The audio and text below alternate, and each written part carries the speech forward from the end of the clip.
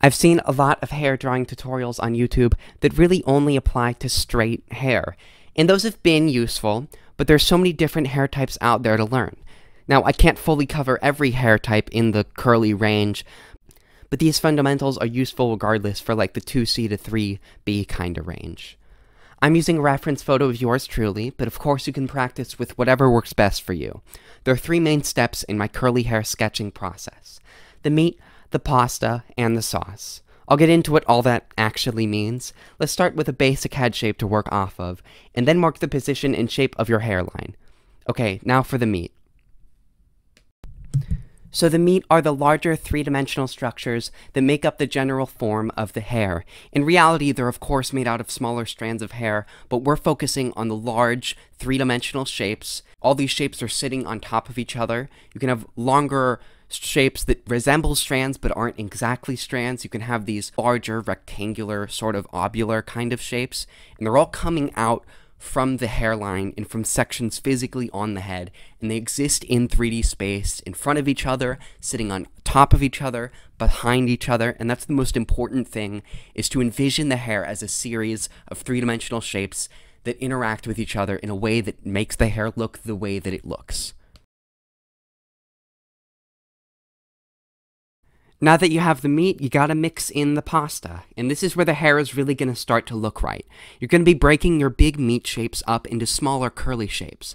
Keep in mind that these are not lines, they are 3D objects that fill these individual meat spaces. You're gonna have roughly three types of curls the squiggly ones, the coils, and miscellaneous strands if your hair reference isn't perfectly uniform. Different parts of the hair, with reference or not, will have varying levels of tightness. Tighter curls coil, tighter curls coil and curve more confidently. That's a tongue twister.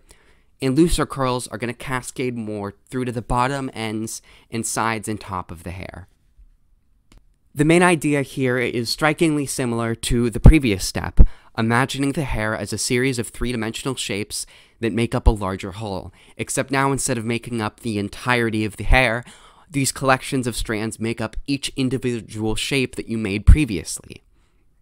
If you noticed, I've taken that previous layer of the meat shapes and turned down the opacity and made a new layer to make these more detailed curls.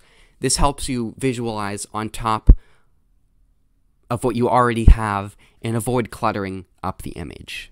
A uh, quick note here, if you notice I'm leaving sort of large sections of blank space in the image. This is because if you look at my reference image of my hair here, a lot of it it doesn't have a lot of detail. Like it has the detail, but you can't see most of it super prominently because it's in a lot of shadow. So I'm not going to add in line art for that because it would clutter up the image. So instead, I leave it blank and sort of just allude to the shapes of it. And then later on in the sauce section, we're going to shade those areas a lot more darkly so that it resembles what it actually looks like in the image and it justifies the lack of detail that we have.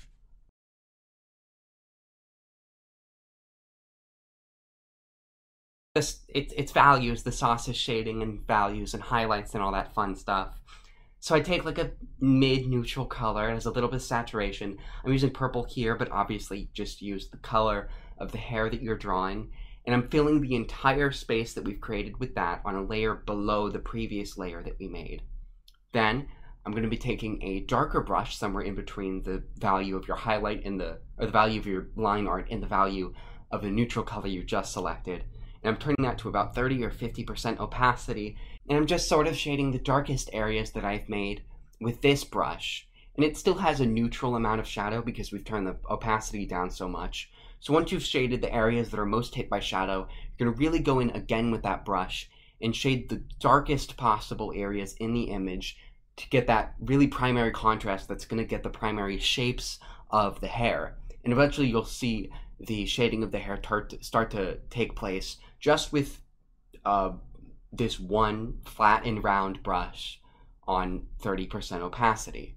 Then after this, you go over to your neutral color, color select it, and then go and uh, turn it up to a highlight color, back down to 30 or 50% opacity, make the size of your brush a little bit smaller, and then follow the contours of the areas of the hair according to your reference image that are being hit by light the most, and then this will create the highlight shapes of your hair. And that's essentially the sauce section. And if you notice, just with a lot of pretty simple instruction and action, you've created a very convincing likeness of human hair. It's, of course, in my image, it's quite stylized and it's not heavily realistic, but it's showing you the fundamentals of how making curly hair is gonna end up working out um, in illustrative styles. I hope this was helpful.